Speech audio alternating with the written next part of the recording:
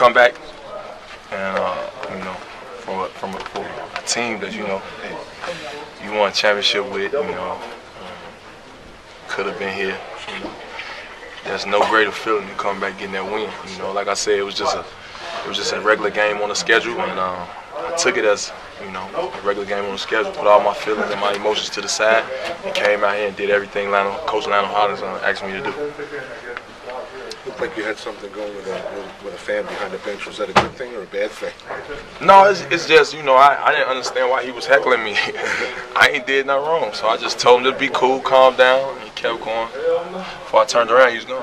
What do you say to all the guys after the game? You gave almost everybody a hug who was here when you were here. Yeah, you know, uh, it's still Ubuntu with those guys. Much love. I love them to death. They, uh, that's, that's my family. Like I said, it's a brotherhood. Once, once, uh, signed up for, you know, I committed to, you know, helping those guys, you know, get a championship. I mean, every day, you know, from uh, training camps in Maine to, to you know, just the long season. It's just getting the ring, raising the banner, ring ceremony, all that. Like, I just told them, you know, thanks for everything and good luck for the rest of the season. Tony, you have friends over there, but does this look like a championship team in the other room anymore? Do you think they're at the end of the line? Oh man, you know I ain't no I ain't no sports analyst. I can't really give you that. Uh, I just know they're they're a heck of a team. They're tough.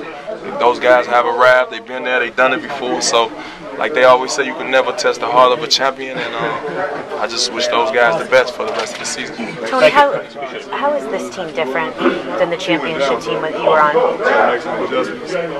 But they're missing a lot of pieces. Obviously, you got a lot of guys that's you know that's fulfill those such as uh, Jay Terry, you know, in substitution of Ray. Uh, I don't think they really got a, a defensive-minded guy yet. Uh, I can't say that they got one. I can't say that he's 100% just yet. Uh, and, uh, they, I don't think they they got the, uh, center like Perk. You know, it's kind of hard finding a guy like that, a guy who clog up the paint, talk trash to you, and actually back it up. But uh, they just missing a lot, and uh, I don't know. I just I don't see the same team from the 2008 to answer your question.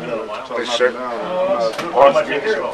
Oh yeah, yeah, yeah. Uh, that's one of my jerseys they had, and uh, it's kind of almost brought me to tears today. But I had to you know, hide it a little bit. you know, there's blood on it, so you know.